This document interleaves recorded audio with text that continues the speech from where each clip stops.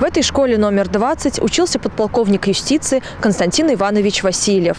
Он окончил Краснодарское военное училище ракетных войск. В 1997 году он поступил в военный университет Министерства обороны, служил в Иркутске и Чите. А с 2000 года он проходил службу в Москве. Сейчас не все знают имя Константина Васильева, но о теракте на Дубровке помнит вся Россия. Захват заложников на Дубровке в Москве начался 23 октября и продолжался до 26 октября 2002 года. Группа из 40 вооруженных чеченских боевиков в течение трех дней удерживала 916 человек в здании театрального центра, работников, зрителей и актерский состав мюзикла «Норд-Ост». По официальным данным, погибли 130 человек. Услышав о захвате, Константин Васильев со служебным удостоверением вошел в здание и самовольно вступил в переговоры с террористами. Он хотел отдать себя в заложники, чтобы ценой своей жизни спасти других. Но боевики не поверили русскому подполковнику и расстреляли его.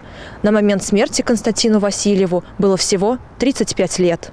Мама Константина, ныне покойная Надежда Степановна, добилась того, чтобы в Сарове, в 20-й школе, где учился ее сын, был устроен уголок памяти. В 2004 году подполковник Константин Иванович Васильев посмертно награжден Орденом Мужества. Светлана Ерунова, Константин Островский, Сергей Рябов. Служба новостей Саров, 24.